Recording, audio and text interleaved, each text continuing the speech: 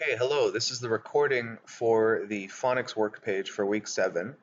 So this work page is a little bit different because um, today what you're working out are not beginning sounds or ending sounds, but rather middle sounds. Okay, and the the words that you're, or sorry, the letters that you're using today are uh, important letters in English called vowels. Uh, there are five vowels: A, E, I, O, U. Okay, and that's the name of the vowels. But when we say the sound of the letters, it's a, e, i, o, uh. Okay, and so we're going to use those um, those short sounds a, e, i, o, uh. Okay, you can practice with me again. We'll just do that one more time. A, e, i, o, uh. So those um, sounds are going to be in the middle of the words that you're looking at. Okay, so for example, here we have a cute little cat, and it says cat, ah, has the letter A in the middle. Ah, ah, ah. Okay, so the letter you would put there is A, which makes the ah sound because the word is cat. So it has an A in the middle for the ah, ah, ah sound. Okay, and this one, uh, this is a pen.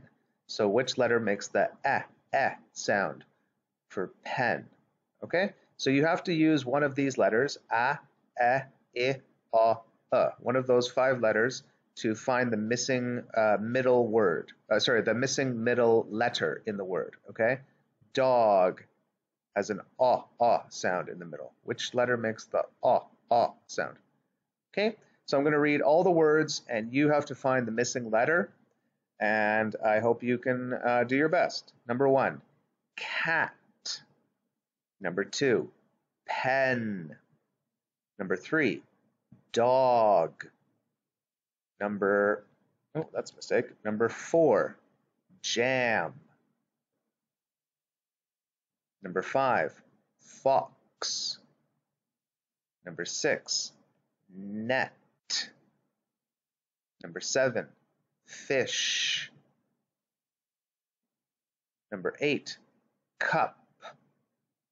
Number nine, box. And number 10, six. Maybe I should have put that as number six, but that's all right. So I'll read them once again, and sorry for that little mistake there. We had two number threes. That's supposed to be number four underneath the jam, of course. Okay, so number one, cat. Number two, pen. Number three, dog. Number four, jam. Number five, fox. Number six, net, eh. Number seven, fish, eh, fish. Number eight, cup, uh. Number nine, box. And number 10, six, eh, six. Okay, good. So that is the first page of these sounds. Now let's move on to the next page it's the same um, kind of thing, okay? So it's again these five sounds, a, e, i, o, uh. And the example word here is hat, hat, which also has a, a in the middle, so the letter A in the middle. Okay, so you would put an A there for hat, a, a. Number one, ten. Number two, hat. Number three, bed.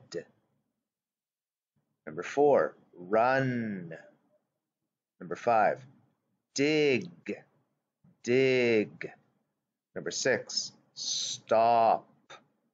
Number seven, witch, witch. Number eight, pot. Number nine, jump, uh, jump. And number 10, bat, ah, bat.